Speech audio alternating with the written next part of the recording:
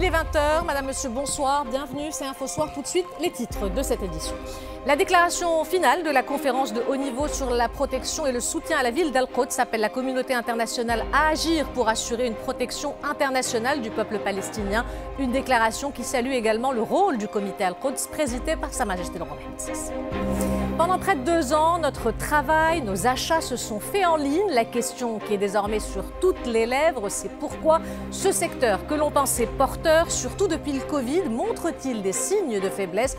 Une question parmi d'autres à laquelle répondra Yessil Ezez dans le décryptage de la semaine.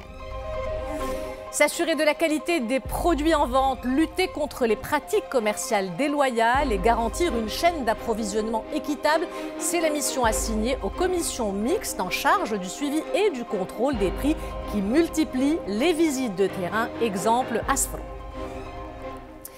Prendre des mesures concrètes pour assurer une protection internationale du peuple palestinien, c'est l'appel lancé à l'issue de la conférence de haut niveau sur la protection et le soutien à la ville d'Al-Quds qui a été euh, sanctionnée hier par une déclaration finale, une déclaration dans laquelle le rôle du comité Al-Quds présidé par Sa Majesté le roi Mohamed VI a été euh, salué. Les développements avec Jazel Hamad. Agir de manière pratique pour une protection internationale du peuple palestinien, c'est la conclusion émise à l'issue de la conférence de haut niveau sur la protection et le soutien à la ville d'El-Quds. Les travaux de cette rencontre ont été sanctionnés par une déclaration finale qui salue le rôle du comité El-Quds présidé par Sa Majesté le roi Mohamed VI, une action concrète menée sur le terrain par l'agence Beitmel El-Quds. C'est ainsi que l'agence a pu mettre en œuvre plus de 200 projets pour un coût estimé à 65 millions de dollars environ. Assuré à 100% par le Maroc, dans la rubrique budgétaire dons d'État, le financement de ces activités est couvert par 70% environ des dons émanant des institutions et des particuliers. La déclaration finale a également rappelé que cette conférence a souligné la responsabilité collective arabe et islamique envers El-Quds, appelant l'ensemble des pays, des organisations et des fonds arabes et islamiques ainsi que les organisations de la société civile traduire l'appui politique en action pratique en fournissant le soutien et le financement nécessaires dans les domaines du développement et de l'investissement. Sa Majesté le Roi nous a adressé un message particulier lors de cette rencontre, lors de laquelle il a expliqué que le comité Al-Quds œuvre sur tous les plans, politiques, diplomatiques, mais aussi juridiques. Les messages que nous avons entendus de tous les participants ici montrent que la cause palestinienne n'est pas une affaire qui concerne seulement les Palestiniens, mais les Arabes, les musulmans et les chrétiens. La deuxième chose, c'est que Sa Majesté s'intéresse aux Mardissi et veille sur eux. Une feuille de route qui a enfin mis en avant l'importance de l'implication des pays arabes en partenariat avec les fonds d'investissement et le secteur privé arabe dans l'établissement d'un mécanisme de financement volontaire commun, un projet dans le cadre de la Ligue des États arabes qui vise à soutenir les petits et moyens projets dans le but de consolider la résilience des habitants d'Al-Quds. Six jours après le violent séisme qui a semé le chaos dans le sud-est de la Turquie et le nord de la Syrie, le bilan de la catastrophe a dépassé les 35 000 morts, mais pourrait doubler selon l'ONU. De leur côté, les États-Unis ont appelé un vote au Conseil de sécurité euh, de l'ONU afin d'autoriser l'acheminement d'aide en Syrie via la Turquie par davantage de points frontaliers. Le point avec Adil Lutet. Le bilan des victimes du séisme s'alourdit au fil des heures. Aujourd'hui, il a franchi le seuil des 35 000 morts, plus de 31 000 énumérés rien que dans le sud de la Turquie. Alors qu'il est 34 000 personnes s'emploient à venir en aide aux personnes restées prisonnières des décombres et à récupérer les corps. Seule consolation pour elles, le fait de retrouver des survivants une semaine après la catastrophe. C'était le cas la nuit dernière. Sept personnes ont été retrouvées en vie, parmi elles un enfant de 3 ans à Kahramanmaras et une sexagénaire à Besni. change La situation est moins dramatique en Syrie à en juger par le nombre des victimes, mais plus chaotique en termes de détérioration de la situation humanitaire. Le nord-ouest syrien dénombre près de 3600 morts et les victimes peinent à recevoir de l'aide. Bab el-Hawa reste le seul point de passage opérationnel à partir de la Turquie vers les zones rebelles de ce pays en guerre. La situation est telle que l'ONU admet avoir fait défaut aux populations sinistrées syriennes. C'est ce qui est ressorti dans un tweet du chef humanitaire de l'agence de l'ONU, Matthew Griffiths. Ce dernier souligne la nécessité d'ouvrir plus de points de passage pour apporter de l'aide au plus vite. Direction à présent l'Ukraine, où la ville de Bakhmut dans l'est du pays est le théâtre de la plus longue et la plus sanglante bataille depuis le début de la guerre en Ukraine. Le 24 février 2022, l'issue de cette bataille est devenue une question symbolique alors que le premier anniversaire de l'invasion russe approche. Les détails avec Rizlan Taibi. Après plusieurs mois marqués par des duels d'artillerie sans conséquences significatives sur le terrain, les troupes russes ont progressé ces dernières semaines, notamment autour de Bakhmut. Dans le nord de cette cité en grande partie détruite par plus de six mois de combat, les Russes ont réussi à capturer la ville de Soledar. Kiev a admis ce lundi une situation compliquée dans le sud de cette ville connue pour ses mines de sel et à une dizaine de kilomètres du centre de Bakhmut qui fait face à des bombardements et des assauts intense russe. L'armée de Moscou a, elle, revendiqué la capture d'un village à proximité immédiate de Paraskovivka. Selon elle, des unités d'assaut de volontaires avec l'appui des forces d'artillerie du groupe Sud ont libéré le village. La prise de cette localité avait été revendiquée dès hier par le patron du groupe paramilitaire russe Wagner, dont les hommes sont en première ligne dans cette bataille. L'état-major ukrainien a indiqué dans son propre rapport quotidien que les troupes russes avaient bombardé 16 localités près de Bakhmut au cours de la journée écoulée avec des chars, des mortiers et de l'artillerie. À l'international, toujours cette discorde aérienne, quatre objets volants, dont un ballon espion chinois, d'après Washington, ont été abattus au-dessus des États-Unis et du Canada en moins de dix jours. Les objets volants semblent donc se multiplier outre-Atlantique. Tout a commencé le 2 février. Un ballon volant à haute altitude au-dessus des États-Unis est repéré. Il est abattu deux jours plus tard, l'objet chinois étant considéré par Washington comme espion. Puis le 10 février, un nouvel objet volant est abattu au-dessus de l'Alaska. Le lendemain, un autre est détruit dans le nord-ouest du Canada. Et enfin, euh, hier, un quatrième est abattu par un F-16 au-dessus d'un lac dans le nord-est des États-Unis. On reste aux États-Unis où l'hémorragie des suppressions d'emplois s'accélère dans le secteur du numérique. Après Google, Meta ou encore Microsoft, le moteur de recherche Yahoo s'apprête à remercier environ 1600 employés, soit 20% de ses effectifs. Au total, depuis le début de l'année, depuis le début de l'année et en un mois et demi, plus de 100 000 postes ont déjà été supprimés. Après des années de croissance débridée, les géants du numérique sont affectés par l'essoufflement de l'économie mondiale et tous envisagent cette année de réduire leurs coûts pour faire face à la nouvelle conjoncture.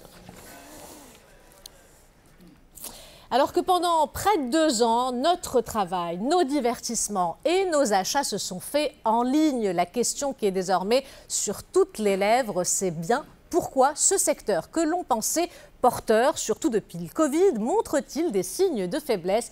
Est-ce la fin de cette utopie du numérique? Pour son décryptage de la semaine, Yassine Lazès, qui nous a rejoint sur le plateau, répondra à toutes ces questions. Bonsoir Yassine. Bonsoir Yassine. Alors dites-nous exactement qu'est-ce qui se passe dans ce secteur que l'on croyait plein d'avenir? Alors en fait, le retour sur Terre est assez brutal pour les géants du numérique. Ces dernières années, ils nous avaient plutôt habitués à des bénéfices records ou à des lancements de nouveaux produits en grande pompe. Désormais, on ne parle plus que des coupes spectaculaires dans leurs effectifs. L'explication est plutôt simple. Pendant la pandémie, les géants du numérique avaient le vent dans le dos et se sont permis de rêver grand. À l'heure du commerce en ligne, du télétravail et de l'explosion des plateformes de streaming, ils ont recruté à tour de bras pour répondre à la hausse de l'activité. Au même moment, soutenus par des marchés financiers qui voyaient des investissements rentables pour l'avenir, ces mastodontes de la Silicon Valley se sont tournés vers des projets assez fantaisistes qui nécessitent des milliards.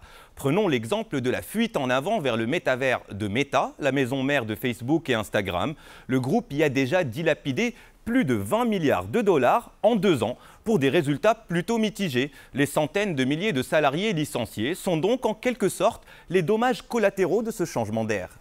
Alors, Yassine, est-ce qu'on peut dire que c'est déjà la fin euh, de l'ère des géants du numérique? Je n'irai pas jusque-là. Les géants du numérique gagnent moins d'argent, mais ils en gagnent encore beaucoup. Disons plutôt que c'est la fin de la récréation et de la folie des grandeurs. Voici donc venu le temps des ajustements pour s'adapter à un retour à la vie normale, à l'inflation qui domine partout, ainsi qu'à la hausse des taux directeurs qui promet des mois à venir Plutôt difficile, puisque la bonne santé financière de ces grands groupes dépend de l'état de la conjoncture mondiale. La baisse du pouvoir d'achat des consommateurs à travers le monde devait un jour ou l'autre impacter leurs résultats. Une réduction des coûts s'est donc imposée et le plus simple pour réduire les coûts sans mettre en péril l'activité, eh c'est d'alléger la masse salariale et de couper les dépenses de publicité et de marketing. C'est d'ailleurs ce qui se passe sous nos yeux depuis quelques mois. Ces licenciements massifs ne sont donc que le synonyme d'un retour vers l'essentiel, soit un retour vers les activités les plus lucratives. Mais dans ce climat morose, certains groupes gardent leur optimisme. Le développement de l'intelligence artificielle, par exemple, ouvre de nouveaux horizons et donc de nouveaux marchés. Merci Yassine pour ce décryptage. On vous retrouve la semaine prochaine avec un nouveau sujet. Retour à l'actualité nationale avec d'abord ce bulletin d'alerte météo de fortes pluies, de fortes rafales de vent et des chutes de neige sont prévues jusqu'à mercredi dans plusieurs régions du royaume. Pour ce qui est par exemple des chutes de neige, comme on le voit derrière moi, 30 à 60 cm euh, seront enregistrés entre aujourd'hui et mercredi euh, dans les provinces de Ouarzazate, L'Haouz, Azelal, Bni Mellal, Chichawa, Midelt, Tenrir et S'assurer de la qualité des produits en vente, lutter contre les pratiques commerciales déloyales, réduire le nombre d'intermédiaires pour garantir une chaîne d'approvisionnement qui soit équitable, c'est la mission qui est assignée aux commissions mixtes en charge du suivi et du contrôle des prix qui, a été, qui sont mis en place euh, par les autorités locales dans différentes provinces et préfectures. Nous avons suivi l'une de ces nombreuses commissions ASFRO où une dizaine de tournées ont été effectuées en quatre jours et pas moins de 10 infractions ont été enregistrées. Reportage Sarah Jabri et Yassine Nasser. Pour lutter contre la hausse des prix et contrôler la qualité des produits alimentaires commercialisés, la commission provinciale mixte de Sforo a entamé ce matin sa quatrième journée d'inspection. Viande, volaille, poissons, fruits et légumes, tous les produits, sans passer au crible. Cette campagne est louable. D'un côté, le consommateur est rassuré sur la qualité des produits. De l'autre, le commerçant s'engage à respecter les normes en vigueur. Tout est disponible et ces inspections devraient s'inscrire dans la durée. Ces visites inopinées sont effectuées au niveau des marchés urbains et souk hebdomadaires. Les commerçants et vendeurs détaillants sont également concernés. Le marché est bien approvisionné, aucun produit ne manque sur les étals. Nous avons mis en place un circuit qui inclut tous les points de vente relevant de la province dans le but de lutter contre la spéculation et protéger la santé et le pouvoir d'achat du citoyen. À ce jour, une dizaine de visites de terrain ont été effectuées par cette commission provinciale mixte, des visites durant lesquelles 10 infractions ont été constatées pour défaut d'affichage des prix et commercialisation de produits impropres à la consommation. Et toujours dans le même objectif de ces opérations et de ces visites de terrain, euh, ces unités de contrôle des prix et de la qualité des produits, euh, l'une d'entre elles a saisi ce matin près de 2 tonnes de pommes de terre et plusieurs autres denrées alimentaires impropres à la consommation ou d'origine inconnue. La marchandise était dissimulée dans un local dans la ville de Oujda. Lina Caché dans une petite ruelle, ce dépôt a été saisi par la commission de contrôle des prix et qualité des produits alimentaires. Durant l'opération, une très grande quantité de marchandises a été confisquée. Ces produits ont été saisis dans un dépôt secret dans ce quartier du 3e arrondissement de la ville d'Oujda. Nous allons procéder à leur destruction en présence de tous les membres de la commission spéciale. Au total, 1716 kg de pommes de terre ont été saisis, 282 kg d'épices et 227 kg de miel industriel. Un ensemble de produits périmés ou d'origine inconnue, les rendant impropres à la consommation. Nous avons saisi ces produits car ce dépôt ne dispose pas des conditions hygiéniques et techniques nécessaires pour la conservation de produits alimentaires. Une démarche qui s'inscrit dans le cadre de la lutte contre les pratiques douteuses pour assurer la sécurité des consommateurs. Restez avec nous à suivre en deuxième partie de ce journal. On s'intéressera à cette étude menée par un cabinet expert en intelligence médiatique qui décrypte l'impact de la participation des Lions de l'Atlas au Mondial 2022. Notre invitée, Sophia Tiazi, nous dévoilera les principaux enseignements à retenir. De la musique pour terminer, Ella Fitzgerald à l'honneur par le Big Band de l'Orchestre Symphonique Royal à travers la voix de la chanteuse Karina Kozevnikova. Le public du théâtre Mohamed VI de Casablanca a pu découvrir les plus beaux morceaux du répertoire de cette grande artiste. C'est à découvrir à la fin de cette édition. Mais avant cela, on va aller du côté de Dakhla, où les travaux de l'Africa Business Days, forum international, se sont ouverts aujourd'hui. Hommes d'affaires, institutionnels, représentants d'associations ou euh, des organismes financiers prennent part à cette grand-messe économique pour discuter business. Les développements avec Amina Khalaq et une. Nombreuses opportunités d'investissement qu'offre la région de Dakhla Ouad Dahab, c'est l'objectif du Forum économique Africa Business Days, une deuxième édition qui entend accélérer le co-développement dans la coopération sud-sud. Ce type d'événement permet de renforcer les relations entre le Maroc et les autres pays africains et de mettre en avant le potentiel économique de la région. Nous avons fait euh, le choix de réunir l'opérateur économique avec le, les décideurs territoriaux pour marquer l'implication progressive des régions dans le développement économique des territoires. Au total, une dizaine de chambres de commerce africaines et européennes et une soixantaine d'opérateurs économiques ont répondu présents pour parler opportunités d'affaires dans la région. J'aimerais voir euh, les opportunités qui peuvent intéresser particulièrement les entreprises togolaises de telles organisations concrétisent les relations d'amitié et le développement économique Cette journée au programme très chargé a également été marquée par la signature de ce mémorandum d'entente pour la mise en place d'un centre de formation hôtelière à Dakhla, doté d'une capacité d'accueil de 250 bénéficiaires. Je vous propose à présent de nous intéresser à cette étude qui a été menée par un cabinet expert en intelligence médiatique. C'est également un acteur actif dans le consulting et la technologie et il vient de dévoiler un rapport sur la participation du Maroc à la Coupe du Monde 2022. Le document, basé autour du thème Évaluation de la visibilité médiatique gagnée pour le Maroc à travers sa participation à la Coupe du Monde, met en avant l'impact de la participation des Lions de l'Atlas à ce mondial au Qatar. Et le rapport s'attelle aussi à fournir une image complète sur la perception du pays et sur ses réalisations aux yeux des médias locaux, régionaux et internationaux, en plus des comptes et utilisateurs des médias sociaux.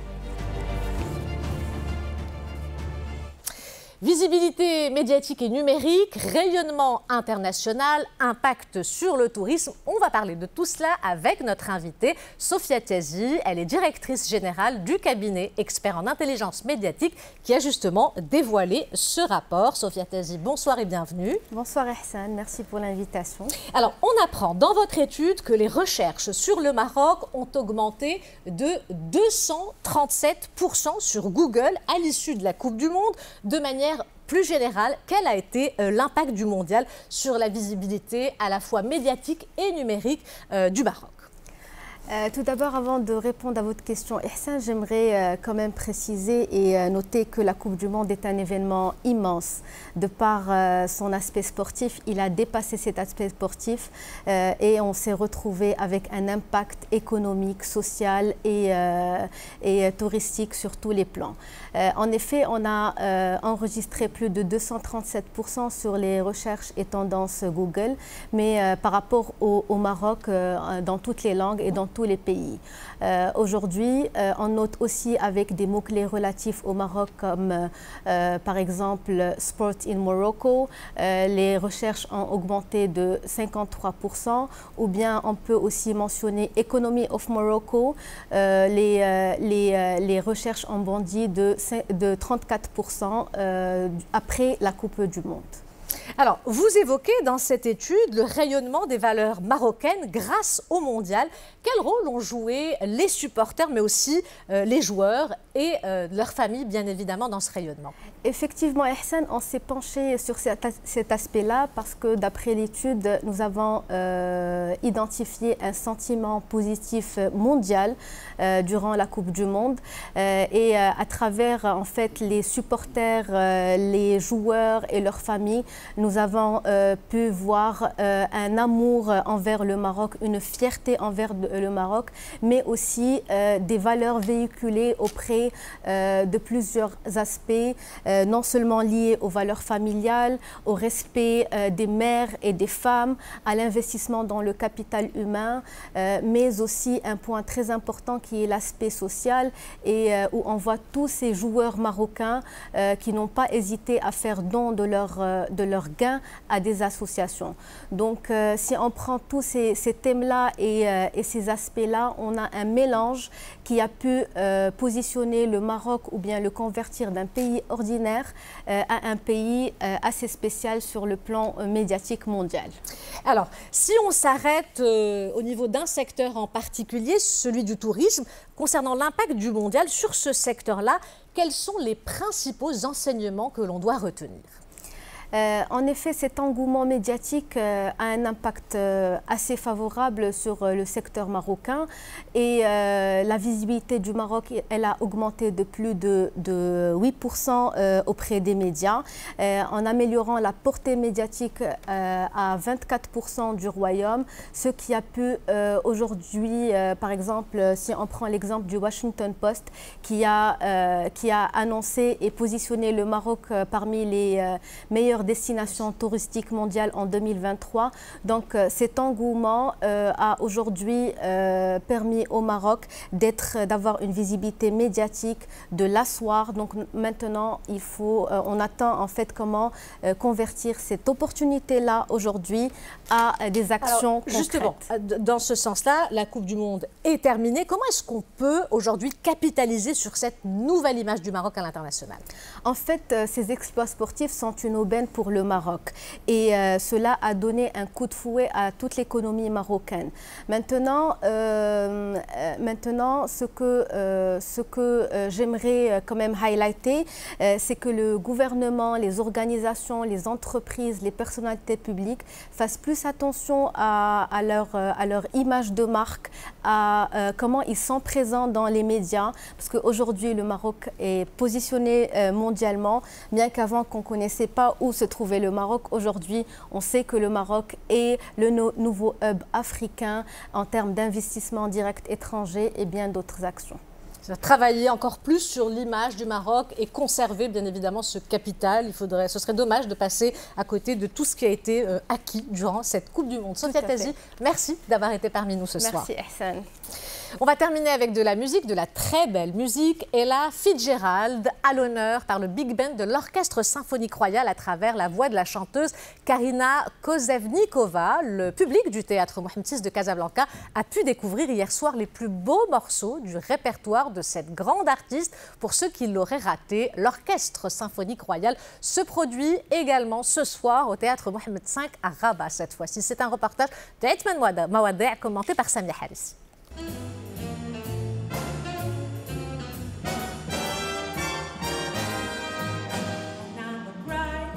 Toute la magie d'Ella Fitzgerald dans la voix de Karina Kozevnikova qui a réussi à s'intégrer avec brio dans l'univers de la diva du jazz tout en conservant son identité artistique.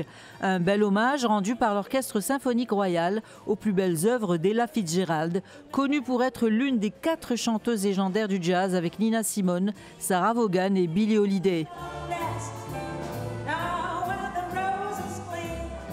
Lady Swing, ma, ma chanteuse favorable. Mon style est très proche d'elle. Je suis très contente, heureuse et ravie euh, que je suis ici, peut-être au Maroc. C'est très, le pays très intéressant, très pittoresque. Les gens marocains sont aimables, gentils. Un répertoire exceptionnel, fidèlement interprété, la tessiture de la voix de Karina Kozevnikova et sa capacité d'improvisation ont conquis le public. On a bien plané, c'était vraiment extraordinaire. Nous espérons que ce genre de concert de jazz soit organisé plus souvent et nous aimerions que nos enfants puissent même être initiés au jazz à l'école. C'est un peu compliqué d'expliquer la joie que nous avons ressentie. Pour faire simple, je peux dire que c'était une joie intérieure.